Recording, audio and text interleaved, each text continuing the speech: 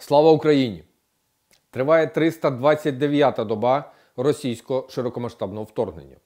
Протягом доби противник завдав 22 авіаційних удари та здійснив понад 50 обстрілів з реактивних систем залпового вогню. Загроза російських авіаційних та ракетних ударів залишається високою на всій території України. Противник не відмовляється від своїх намірів захопити Донецьку область в межах адміністративних кордонів. Основні зусилля зосереджує на веденні наступу на Бахмутському напрямку, веде безуспішні наступальні дії на Авдіївському напрямку. Окрім того, намагається покращити тактичне положення на Лиманському напрямку.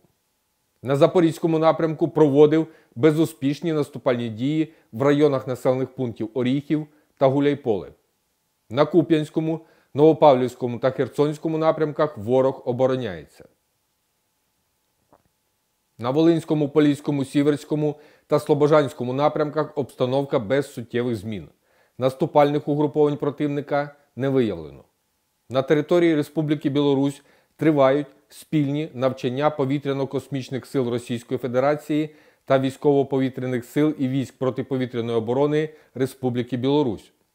Відпрацьовуються практичні завдання із взаємодії повітряної та сухопутної компонент в наступальних операціях.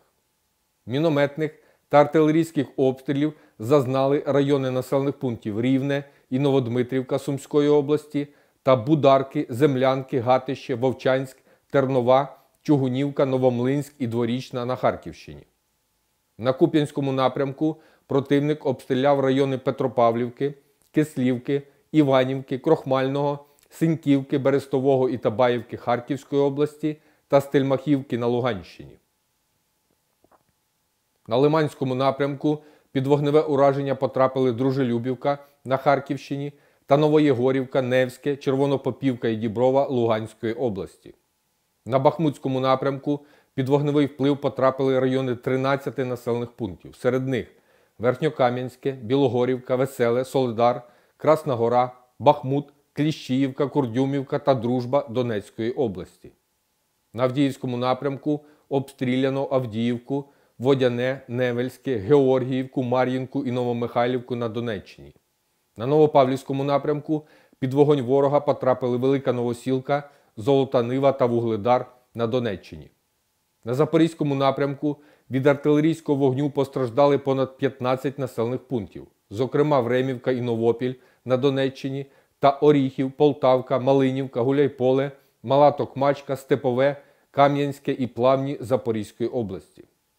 На Херсонському напрямку обстрілів з реактивних систем залпового вогню та ствольної артилерії, зокрема, зазнали райони населених пунктів Антонівка, Берегове, Веселе, Федорівка, Львове та Херсон, вкотре постраждали мирні жителі. Російські окупаційні війська не припиняють мародерства на тимчасово зайнятих територіях. Так, в населених пунктах Горностаївка, Каїри, Братолюбівка та Нижні Сірогози Херсонської області окупанти, пересуваючись групами по 10-15 осіб, обшукують пусті помешкання місцевих жителів та виносять всю побутову техніку і меблі. Авіація Сил оборони протягом доби завдала 13 ударів по районах зосередження ворога та 3 по позиціях його зенітно-ракетних комплексів. Окрім того, наші захисники збили ворожий гелікоптер К-52 та експериментальний російський розвідувальний БПЛА Мерлін ВР. Підрозділи ракетних військ і артилерії Сил оборони України в той же час уразили один пункт управління, один район зосередження живої сили окупантів та одну станцію радіоелектронної боротьби. Вірте у Збройні Сили! Разом переможемо! Слава Україні!